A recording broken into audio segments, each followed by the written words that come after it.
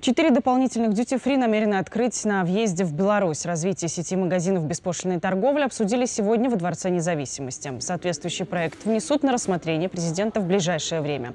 К слову, за пять лет количество дьюти-фри в Беларуси увеличилось почти в три раза. Сегодня в таком формате работают около 70 объектов. Причем три из них открыты не только для выезжающих из страны, но и для тех, кто прибывает к нам.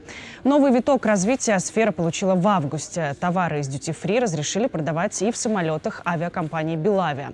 По словам Александра Лукашенко, развитие такого вида торговли способствует повышению транзитной и туристической привлекательности страны, но к развитию сети глава государства требует подходить взвешенно.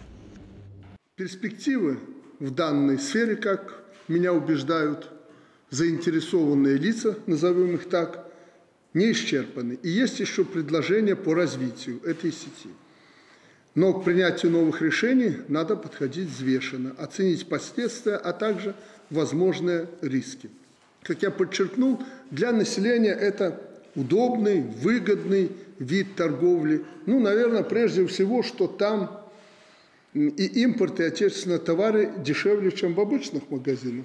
Это понятно. А какое влияние этот вид беспошлиной торговли оказывает на производителей аналогичных белорусских товаров и на торговую сеть, там, где нет э, льгот определенных и так далее и тому подобное.